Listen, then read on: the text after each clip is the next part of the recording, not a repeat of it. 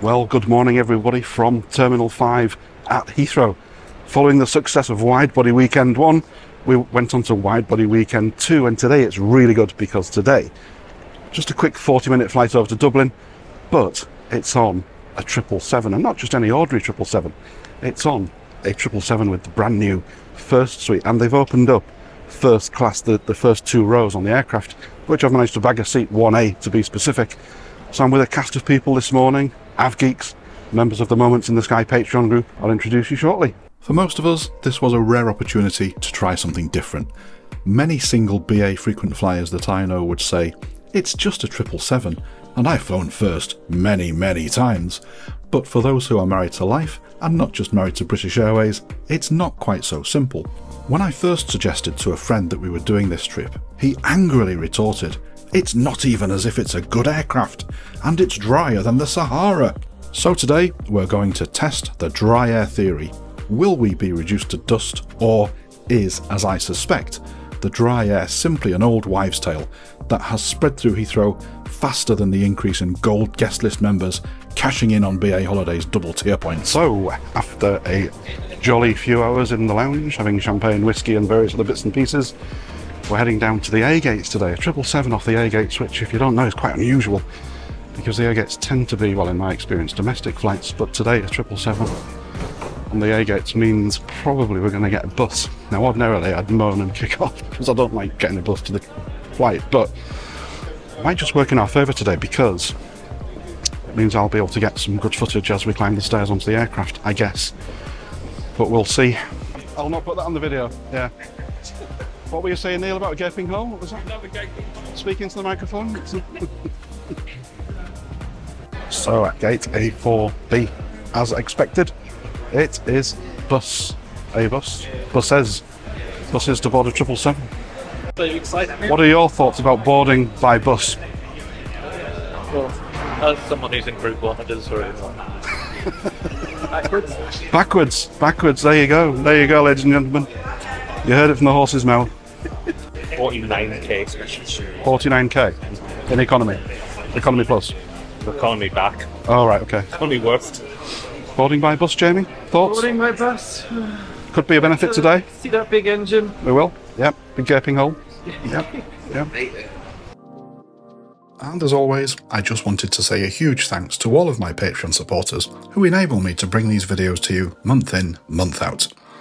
The ever growing list of supporters means that I must be doing something right, and this month particularly, I'm delighted to welcome three new supporters, so a huge welcome to Joshua Lau, Ben Costello, and Steven Catcheside. A very warm welcome to you all.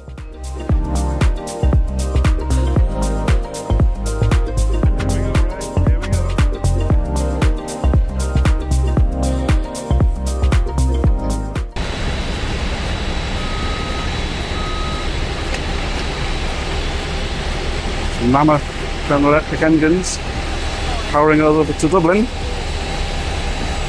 Uh, so welcome on board to British Airways first class first suite with the door and I'll show you a bit more of that once we get up into the air.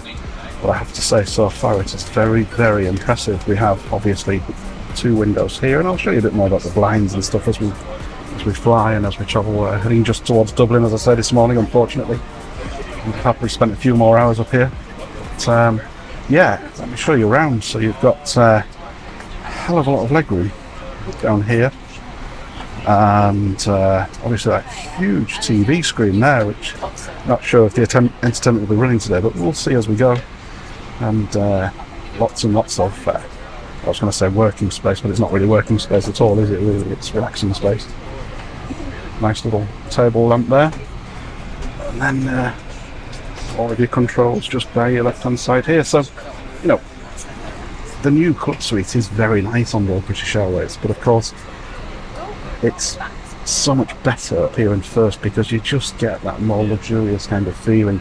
And as I say, I'll show you more as we go. So, what do you think, Neil? First suite versus club suite? I've not done uh, first. No, I've not done club suites. Right. Only problem with this is Yeah, no buddy dining if you're if you're travelling with a partner. it's a good point. Unlike the older Uh, that was a really good thing on the A380. Yeah, buddy dining. yeah, So, yeah. It's a good point. Yeah, So yeah, it's a shame that they're, they're probably going to get rid of that. I think so. Yeah, I think so. Yeah. But it's a nice feel. though. It's a nice cabin. yeah, it's nice, nice ambience. Yeah, And obviously, as usual, the crew excellent. yeah, yeah. Yeah, she was very, very welcoming, Yeah, wasn't she? Yeah, very. yeah, yeah. With my friends now seated, let's go and get some thoughts of the seat and cabin. So overall, first impressions, Jamie? Very nice. Very nice. Yeah, yeah. Storage, much more than a, a 320 product. Uh, yeah, just a bit. Yeah, just a bit. Impressed? No, no. And what are you having for your uh, meal? The smoked salmon. Smoked salmon. Right, of course, of course. Yeah, champagne. So introduce yourself, Ben. Yep, I'm Ben, a very young 22 year old, travelling first. Travelling in first class. Yeah. First impressions? That's pretty awesome, isn't it? Yeah, it's lovely, isn't it? First time up. Yep. Yeah, pretty cool. Then your storage space, stretch out. Have you tried the club suite before? I've never even tried the club suite. Okay, so, uh, okay. So this is uh, this spoils it for. It does spoil it. Yeah, bit, yeah, but, uh, yeah. awesome. That's lovely, isn't it? Yeah, very nice. Obviously, be smoked salmon and champagne, so. uh, Well, you can't beat that, really, can you? Yeah.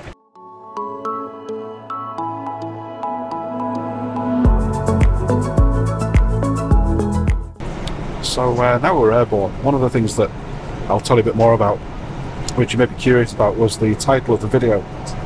It's not as if it's even a good aircraft. And uh, so a few weeks ago, as part of the planning for this trip, you've seen a few of us on board this morning.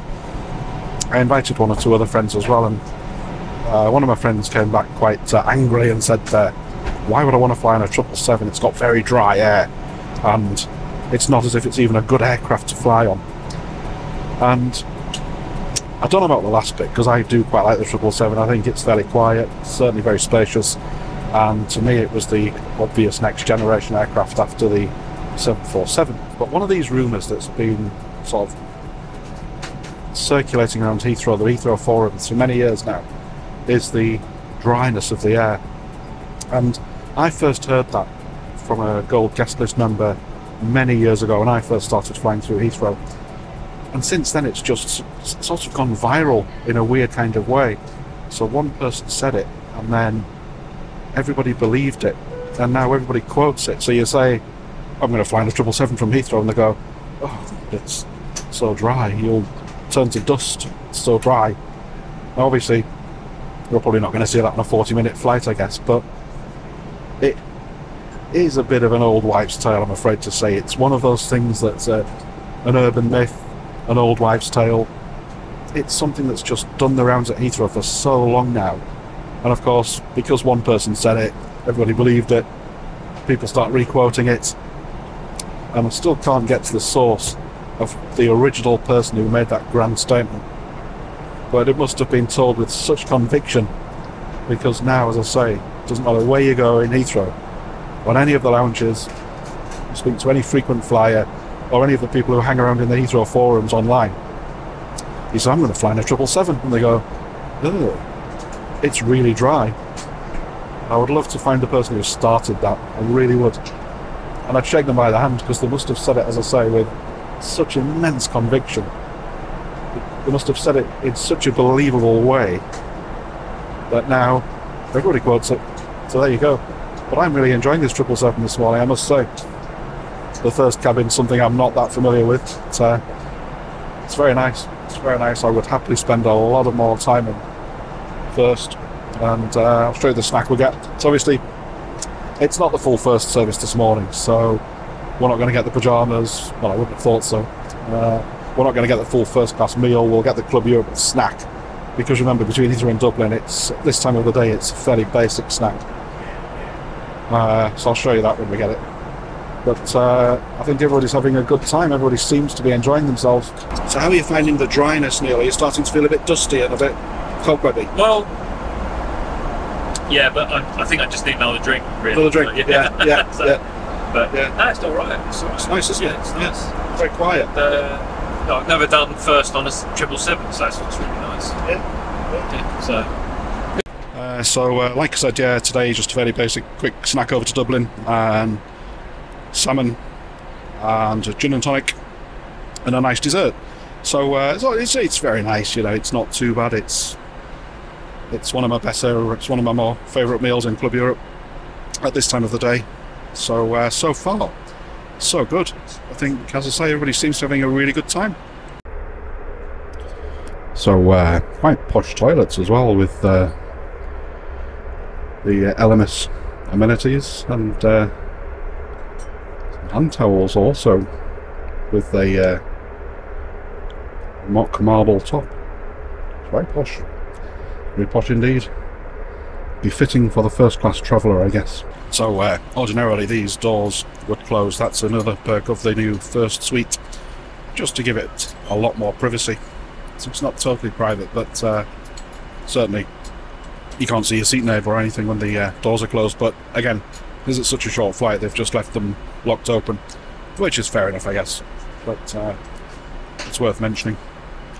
So we're now uh, 32,000 feet, quite a high altitude for a very, very short flight. And it's quite a nice day out there, I'll show you.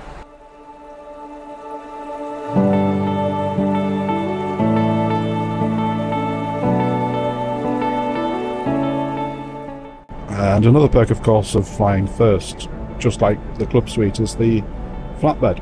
Uh, but I have to say, at over six foot tall myself, I feel very, very roomy here in the first suite. And as you can see, my feet have got lots of room, which is always the test I use.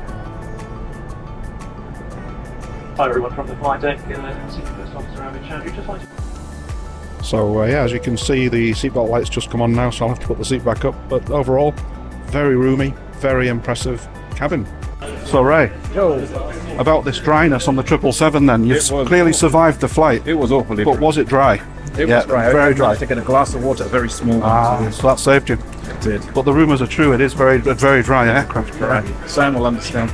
Exactly. Yeah, He, he, he, he knew this before we did. he did. Well, he warned us. So Joe, Yes. very dry aircraft. Would you agree it was a dry aircraft? dying. Yeah. Yeah, you're dying on your feet because it's so dry. Yeah. Why would you want to fly on one? It's not even as if it's a very good aircraft. Very good aircraft at all. What do you think, Neil?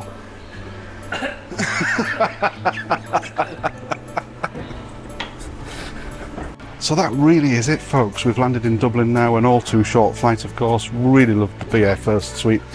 And it's days like these that really make me very happy when BA put on these, and other airlines, when they put on these special planes, the sort of wide bodies on short routes. It's always worth doing, just for a bit of fun. Obviously, I could have stayed up there all day. In all seriousness, would happily spend 13 hours on the BA First Suite. The dryness thing, you know, is it, well, let's just dispel this. There's two things. Is it a nasty aircraft? Absolutely not. I actually really like the 777. I find it very roomy. And as I said up when we were up in the sky, to me it was always the natural successor, having flown on many 747s in the past in my earlier years. You know, is it a dry aircraft? I'm not convinced. I think that is an old wives' tale that's been circulating Heathrow for so long now that people just believe it, and it's become synonymous with the 777 out of Heathrow with British Airways. And I've heard it said so many times. I just don't buy it. I, I just do not buy that at all. Um, so, any of you who know me probably chucking your shoes at the screen now, saying how dare he say it's a nice airy aircraft. Um, you know, if you've experienced that dryness yourself, fair enough. You know, I can't take that away from you.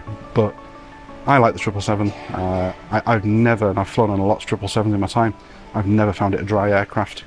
I think it's just something that somebody said. I'm going to go and see a distillery now and see the Guinness factory this afternoon, and then travelling back home tonight. So, very quick tour. Hope you've enjoyed the video and a brief insight into the BA First Suite. I really enjoyed it. So, until next time, friends, see you soon.